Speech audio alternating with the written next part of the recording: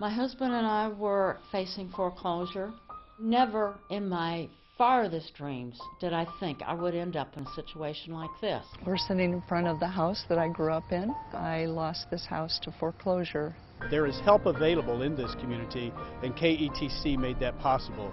Public broadcasting has a unique responsibility and an opportunity, and we're connecting people to the resources they need through our on-air work, our work online, and in the community. We truly serve the public. It's definitely changed the way I view uh, public broadcasting. It takes this kind of community organizing to head off the mortgage crisis.